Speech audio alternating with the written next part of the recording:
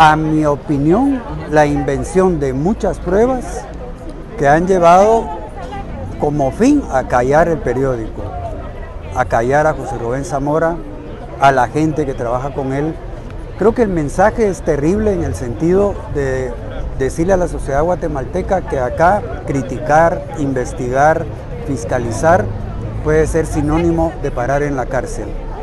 Creo que actividades como la de hoy, donde los periodistas vienen en un acto de solidaridad con todos los colegas mencionados, con los medios perseguidos, creo que lo que queremos decir es que no somos delincuentes, que nuestro trabajo no solo está fundamentado en ley, sino que es una obligación ciudadana de hablar, decir todo aquello que daña al pueblo de Guatemala. Entonces, el juez, yo voy a decir, respeto su opinión, entonces yo exijo que respete la mía.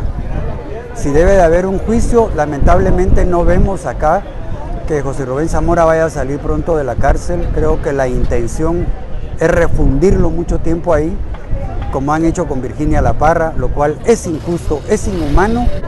Yo creo que el fin principal es terminar con el periódico. Esa es mi opinión.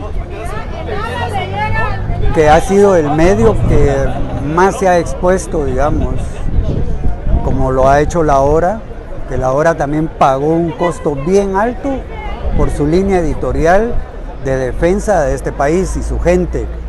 Y eso estamos viendo con el periódico. Lo mataron en su edición de papel y ahora intentan matarlo en su edición digital. Cuando hay una persecución ya contra una sala de redacción, el mensaje está bien claro. Yo creo que cuando se convocan a estas actividades, aquí debería estar el pueblo de Guatemala, pero también entiendo que las necesidades del ciudadano común son tan grandes que lo único que hace es preocuparse por sí mismo y su familia, lo cual es válido.